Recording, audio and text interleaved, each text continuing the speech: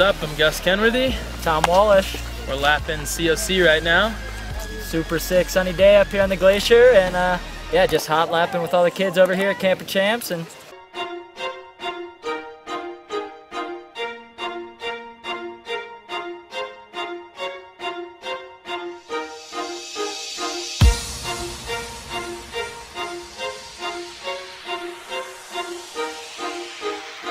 I feel alone, feel at home, feel like nothing is true